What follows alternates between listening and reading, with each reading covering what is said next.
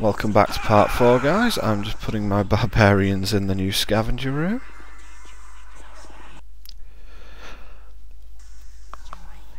And I'm also putting the higher level thieves in there, and um, that will shortly result in every single thief on the level being under my control. You'll notice you can hear the scavenger room sound, that basically means that the creature is being scavenged at this point. Um, there you go, as you can see, level 7 thieves, level 6 giants are basically what's uh, in this area, and the level 7 thieves are falling by the minute. Uh, there's also one or two uh, barbarians less than there used to be.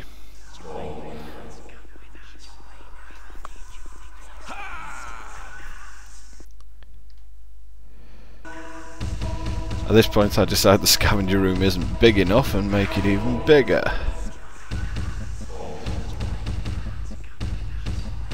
Debatable whether you need it to be this size to tell you the truth, but uh, I decided more the merrier at this point in time. You can never have enough eyeballs on stalks.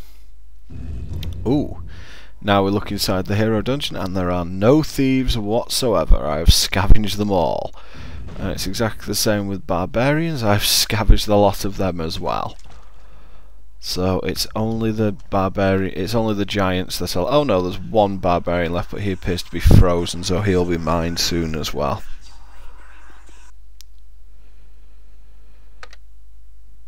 Okay, I believe it is time to assault the central area. Now, one thing to be careful of. Some of your minions are unable to reach their lairs. If you go beyond a certain point, um, in the castle, the Lord of the Land's party will spawn, and I don't want that to happen until I've got the giants on my side. The game tells you something about direct the heroes towards the enemy keeper, but I don't want to do that. As usual, Horn Reaper's annoyed. Your creatures are becoming angry. We need a bigger temple. This is going to be a Donnybrook. To reach their lairs. Your creatures are under attack. Your creatures are attacking the enemy. Your minions are winning a battle. Fortunately, giants are slow, so they can't. Uh, Your creatures are becoming angry. so giants can't actually um, creatures are attacking the back each other up very quickly.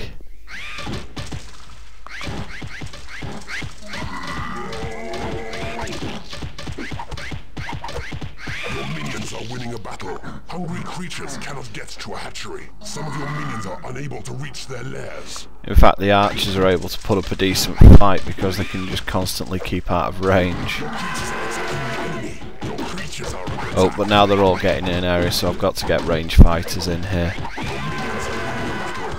Which means wizards.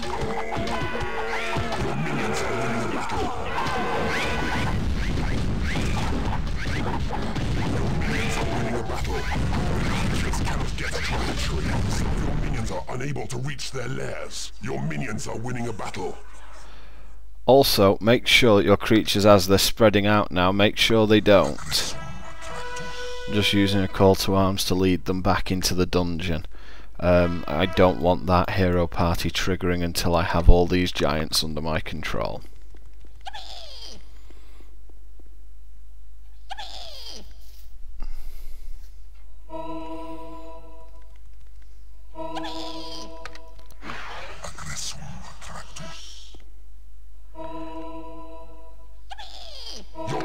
Are under attack. That's always annoying when they wake up. But I'm actually going to let my level 3 monk beat him up just for the Your minions are winning a battle. just because of the whole indignity. But uh,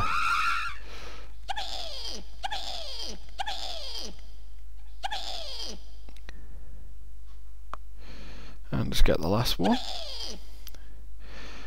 And let's see what becomes of them. I'm also dooring this area off.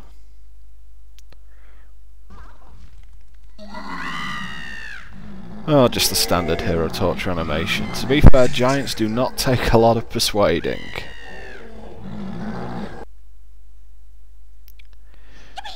And they're all under my control now. They're actually pretty good in the workshop.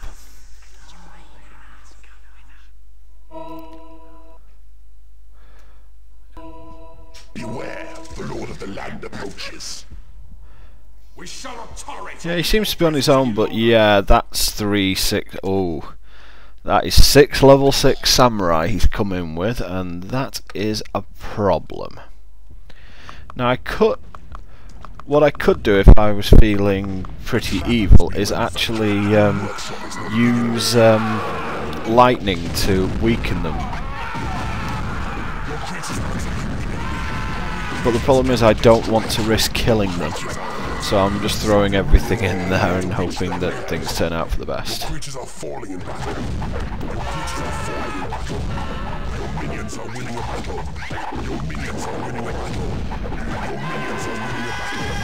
Your minions are winning a battle. And it looks like it worked. I've got all of them alive. Although I may have lost a Reaper there, I'm honestly not sure. I think I did.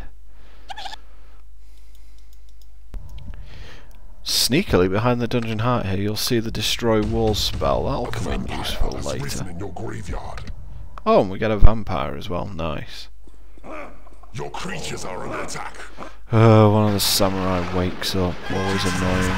Enemy. Your minions are winning a battle.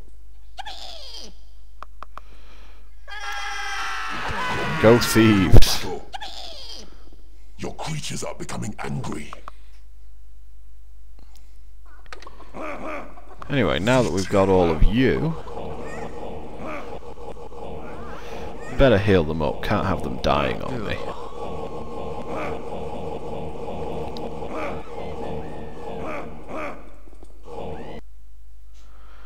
Right, now that's happened. You will all be mine.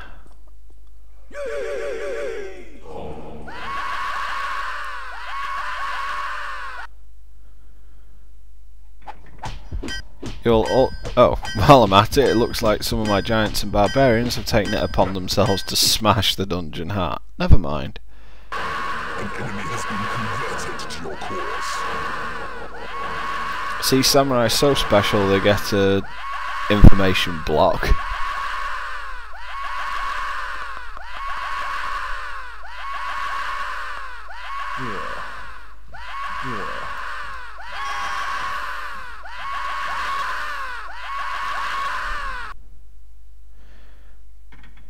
And we finally have the training room. Now, it's time for a couple of tips on this because even though we have the training room and gems, we do not have infinite resources because we have masses of creatures like we did in Blaise End. I would recommend that you let fairies and tentacles constantly train. They don't cost anything and they're very useful at high levels. Giants and barbarians are useful in the workshop, so they can wait for the moment. They are expensive to train. Ditto for archers and thieves, but they're just because they're not that useful. Don't train Horn Reapers yet. They're too expensive. You can train all your barbarians and giants to level 10 for the cost of training Reapers to level 2, to, le- to about level 7. Dragons, vampires, and wizards are expensive, but not many, so just don't train them with the giants and you'll be fine.